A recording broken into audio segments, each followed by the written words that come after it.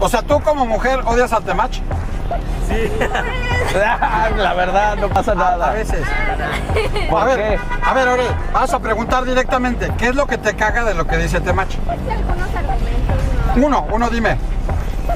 Sí, para saber. eh, eh, Estamos Me viene regañando. ¿Tengo razón? Tengo razón. A ver, ¿en qué tiene razón? Un argumento que sí te gusta.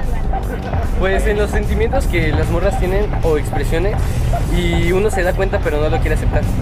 Y él pues te dice que abras los ojos porque al chile sí te tratan mal o, o no sé, te da una mala impresión. O sea, cuando ahora las morras son culeras contigo. Ajá, sí. A ver, ¿y tú ya, ya sabes algún argumento en contra? Eh, por ejemplo, que dice que, que no las trate, que no sea detallista.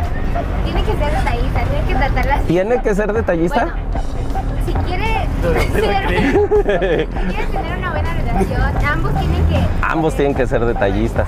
Yo lo que les digo es, no seas detallista si ella no es detallista. ¿Tú eres detallista? Ya ves, eso es lo que pasa siempre. Están, les enseñaron que tienen que estar enojados, enojadas, particularmente las morras con el temach, pero ni siquiera saben por qué.